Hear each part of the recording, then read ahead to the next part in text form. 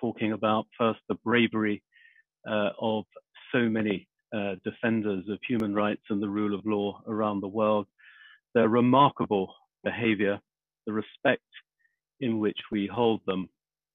And it was noticeable, um, and rightly, uh, just how many of the UK based lawyers talked about the ease with which we can try to promote and support the rule of law, but from the comfort of our jobs without danger in the UK.